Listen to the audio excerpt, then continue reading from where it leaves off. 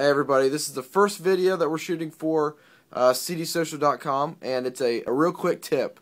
I was going through some Facebook pages of uh, some different funeral homes, doing a little research for social media, some do's and don'ts uh, for funeral homes, and uh, I found a definite don't.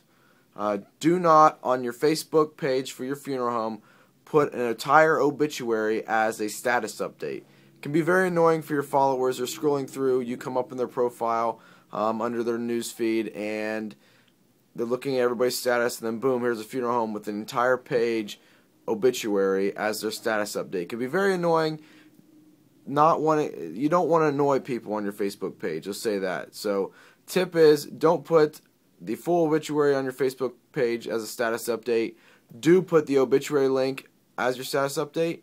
Link it back to your website. You want the eyeballs on your funeral home website don't keep them on Facebook reading the entire obituary. Get them back to your funeral home website. Have a great weekend.